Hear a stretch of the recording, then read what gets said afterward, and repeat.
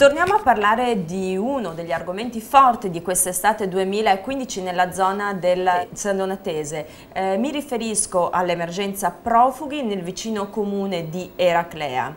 Eh, ne abbiamo già parlato con il presidente di Ascom Faloppa. Oggi ho invitato in studio l'ex sindaco di Musile di Piave, eh, nonché attuale vice governatore della regione del Veneto. Bentornato a trovarci. Grazie. Eh, allora, Facciamo un po' il punto della situazione. Emergenza profughi. Già eh, ne avevamo parlato appunto come accennavo eh, introducendo la trasmissione con Angelo Faloppa. Angelo Faloppa diceva insomma si potevano trovare altre soluzioni piuttosto che una cittadina balneare che adesso insomma vive di turismo. Questo tempo fa. Adesso insomma i profughi a Raclè sono tantissimi, sono arrivati ad essere 264. Beh, è un bel problema, eh, lo abbiamo detto da sempre io sono dell'avviso che eh, la risoluzione era che non arrivassero, eh, quindi non mi interessa Eraclea Mare, Litorale o piuttosto che Caturcata, perché poi a subire i riflessi di questa ondata sono comunque i cittadini quindi eh, i cittadini di Caturcata credo non siano cittadini di Serie B rispetto a quelli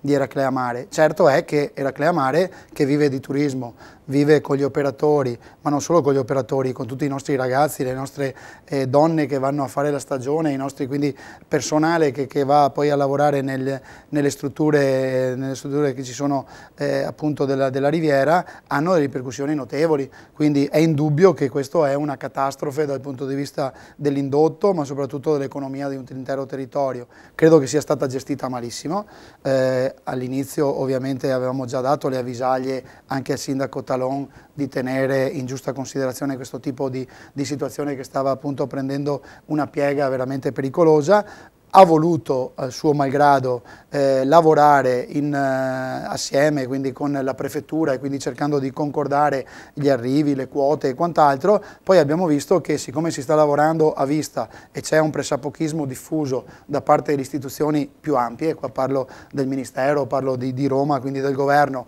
e quindi poverino il prefetto, adesso tutti se la prendono quel prefetto, ma è un mero esecutore degli ordini di Roma, quindi primo da prendere e da appendere sarebbe il, il ministro Alfano su questa, su questa, situazione, perché è ovvio che poi quando dà degli ordini e arrivano dei pullman in modo indiscriminato, senza che nessuno sappia niente, in barba a quelli che sono le, eh, i compiti, ma soprattutto le attribuzioni a un sindaco di autorità di pubblica sicurezza, di autorità sanitaria, tutte le questioni che ovviamente i cittadini già sanno e che sono messe a tappeto da queste invece invasioni, che sono invasioni che arrivano appunto eh, a ore disparate senza appunto che che il sindaco sindaco o l'amministrazione sappia nulla, mettono poi in difficoltà ovviamente quello che è l'azione anche di recupero dell'emergenza perché se è pianificata uno la pianifica, ma se gli arriva e ti avvisano, scusa sindaco c'è una corriera di profughi scaricati nel bel mezzo della piazza e stanno passeggiando per strada, chiaro che insomma non c'è neanche rispetto delle regole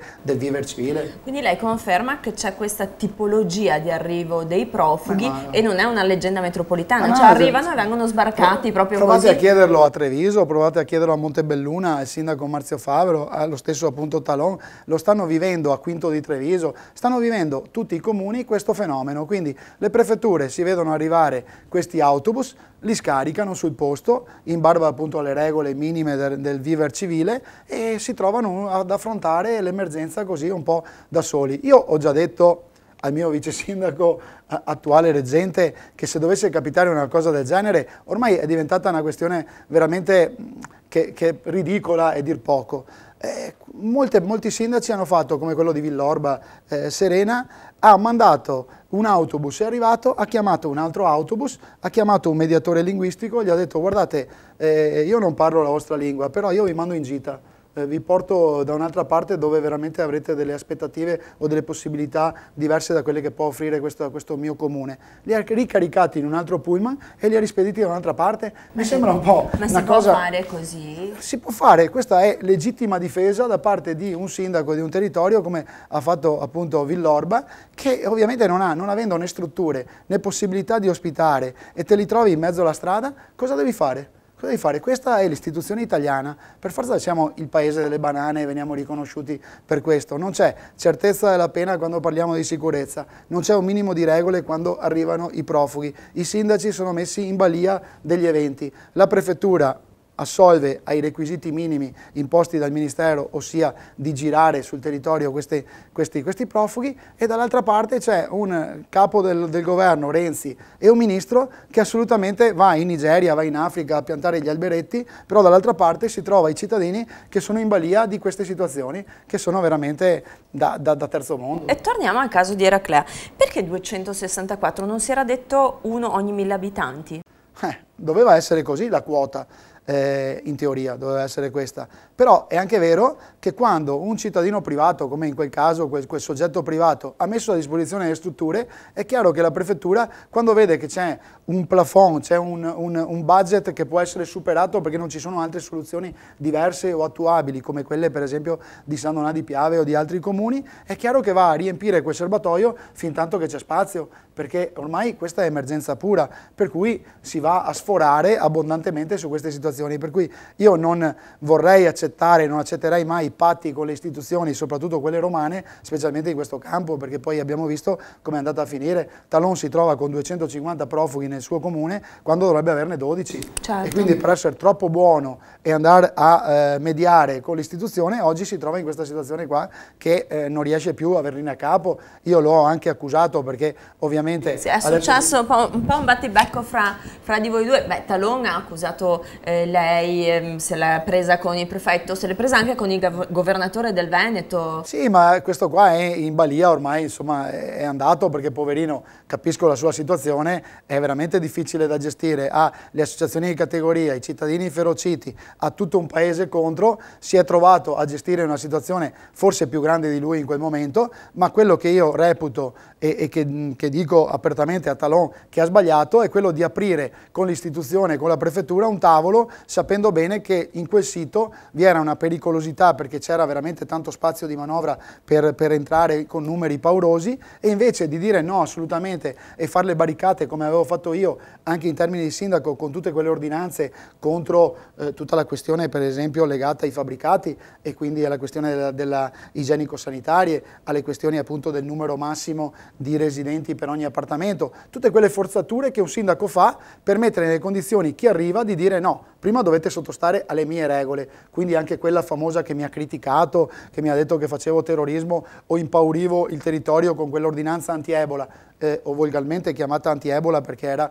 comunque contro tutte sì, quelle ricordo, malattie, scorsa. tutte quelle malattie infettive che ci sono, che ci possono essere. Io quella l'ho fatta e se qualcuno arriva con un pullman e lo fermo, prima di scendere dal pullman deve dimostrarmi il Dipartimento di Prevenzione, quindi dell'ASL, che quei soggetti che scendono dal pullman sono comunque in buono stato di salute. I controlli dovrebbero essere fatti appena loro arrivano. Quindi... Purtroppo abbiamo visto che non è così. Se vediamo che a volte per strada si trovano che arrivano per esempio dalla Slovenia, arrivano da altri confini e vengono portati nel nostro territorio solo perché sono trasportati da qualche camion che li porta, quindi come, come portare della merce eh, sul, sul, nostro territorio. Possiamo pensare che questi arrivino con un certificato medico di buona salute? Assolutamente no. Mezzi di questi scappano prima ancora di essere identificati e, e controllati, quindi insomma c'è un marasma totale, dobbiamo dire la verità, e, e, il governo su questo si deve davvero vergognare. Rimanendo nel rapporto tra lei e il sindaco di Eraclea Talon, c'è stato un battibecco abbastanza violento e lei addirittura... Io l'ho querelato, querelato perché, lui si, perché lui si è permesso di dire che, siccome io l'avevo avvisato due mesi fa, stai attento che arrivano i profughi Eraclea e l'avevo saputo da vie traverse vicine alla prefettura e quindi a chi poi opera sul territorio, lui è andato a dire in preda al panico quando non sapeva più appunto eh, in chi incolpare da Zaia, quindi Forcolin, tu, tutti sono son, son buoni, buoni parafulmini, ha detto che io sarei stato o avrei fatto da tramite fra la cooperativa e il soggetto privato eh, nel portare i profughi Eraclea. Cioè finché si scherza, si scherza, però io non conosco queste persone, non ho minimo idea di chi siano queste persone, per cui quando si fanno nomi e cognomi e si fa fa il microfono magari con testimoni in un consiglio comunale, io questo non posso tollerarlo e ho già presentato querela nei confronti del sindaco Talon e gli chiederò i danni per diffamazione e dico già appunto che i soldi che dovrà darmi per diffamazione li darò alle famiglie in difficoltà di Raclea, quelle che lui non sta tutelando oggi. È un problema davvero difficile, poi noi sicuramente andremo anche a sentire il sindaco Talon eh, per dare diritto di certo, replica. Certo, certo. Eh, Un'ultimissima domanda, lei adesso ricopre un ruolo abbastanza importante, l'emergenza profughi non terminerà Eh, e che cosa, che cosa farà la Regione del il Veneto? Proprio, il problema è proprio questo, che la Regione Veneto, come i sindaci, l'ho detto prima, quali sono le possibilità di spazi di manovra dei sindaci? Pochissime, se non tutelarsi all'interno delle proprie ordinanze e quindi del proprio territorio per cercare di salvare il salvabile. La Regione ha zero competenze in materia di eh, sicurezza in questo, in questo senso dei, dei profughi, quindi non ci sono competenze specifiche per la Regione. Io credo che se ci fosse veramente un, una programmazione nel dire le quote per il Veneto sono 5.000, questo lo dico a titolo personale ovviamente eh, da, da, mm, da, ex sindaco, se ci fossero 5.000 quote da eh, poter ottenere per i Veneti per questo tipo di, di emergenza che c'è, ma ci fosse una programmazione che dice le barriere sono chiuse, andiamo ad aiutarli a casa loro, quindi questi sono quelli che sono entrati, cerchiamo di aiutarli, uno ogni mille abitanti, se fosse fosse vero, attraverso le associazioni di volontariato, attraverso la Caritas, attraverso le nostre strutture, si potrebbe anche dare un messaggio di questo tipo di accoglienza. Il problema è che stiamo ragionando veramente nel vuoto e barcollando nel vuoto, perché oggi sono 5.000 quelli che prospettano il Veneto, domani potrebbero essere 10.000, perché no 20.000? Se stanno arrivando 200.000 profughi dal Nord Africa, di questi pochissimi reduci da guerre, vuol dire che veramente non sappiamo neanche dove andremo a parare. E allora uno come fa a fare una programmazione e dire io sono accogliente se non so neanche di cosa sto parlando? Perché quei 5.000 veramente sono un numero, un'inezia. Ieri sono arrivati in 2.200. Eh, se c'è questo, se questo esodo massiccio, sì. non si può fare una programmazione, quindi come posso dire di sì se domani invece che 5.000 il Veneto deve accoglierne 50.000? E dove li mettiamo?